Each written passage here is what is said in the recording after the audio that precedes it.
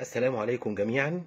أه بكلمكم وأنا في آه، غمرة من السعادة والفرحة أه بالفوز بجائزة أحسن فيلم قصير تسجيلي في مهرجان الوثائقي لأفلام حقوق الإنسان بالرباط في دورته التاسعة. سعيد جدا جدا جدا بهذه الجائزة. هذه الجائزة تمثل لي آه، عدد من الأشياء السعيدة.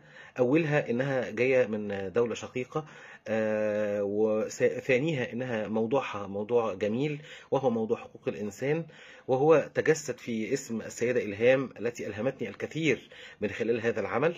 لما وجدتها سيدة بسيطة آه، في الأربعة وسبعين من عمرها ولكنها تقطن بجوار حلمها. آه، من منا يعيش بجوار حلمه عشر سنوات كاملة؟ آه، 24 ساعة في اليوم يجلس أمام حلمه آه، آه، بتبيع كتب بتبيع ثقافة الشباب بتوع جامعة القاهرة أملا في إنها يوم من الأيام آه، تجد آه، أحفادها آه، يدخلوا هذه الجامعة ويتخرجوا ويفيدوا بلدهم ووطنهم العربي كله.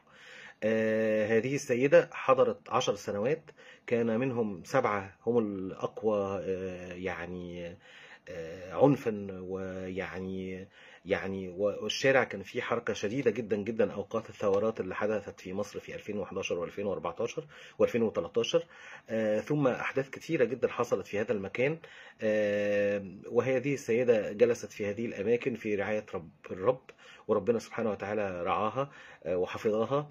وكانت الناس كلها بتتوارى آه، في إنها تساعدها وإنها تقف جنبها آه، من الأصلاء من الشعب المصري الجميل. هذا الفيلم له قيمة أخرى في قلبي مهنية هذه المهنية أن أنا قمت في حياتي بعمل حوالي 23 فيلم وحصلت على أكثر من 10 جوائز عنهم آه، منهم أفلام تجاوزت ميزانيتها أرقام كبيرة يعني مختلفة ولكن هذا الفيلم لم تتجاوز ميزانيته الألف جنيه لأنه آه، كاميرتي الصغيرة زائد كاميرا صديقي محمد شادي الصغيرة آه، قمنا بالتسجيل من خلالهم. محمد شادي في منزله آه، قعدنا ومنتجنا الفيلم آه، وأنهينا عملية المونتاج. الموسيقى التصويرية مهداة من صديقي الفنان المصري الجميل تامر كروان. آه، هذا الفيلم إنتاج فريق عمل قصير جدا وميزانية قليلة جدا لكن القيمة الإنسانية التي يحملها هذا الفيلم هي التي يعني الحمد لله أنها وصلت إلى لجنة التحكيم ووصلت لإدارة المهرجان وتم تقديره بهذا الشكل الجميل. آه، أشكر شعب المغرب الجميل.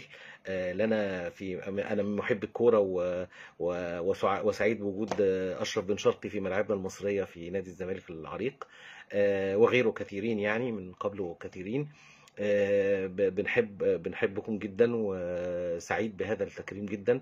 وأتمنى إنه يعني دايما كده السينما تبقى هي المعبرة عن كل البسطاء وعن كل ال- ال- المحبين للحياة.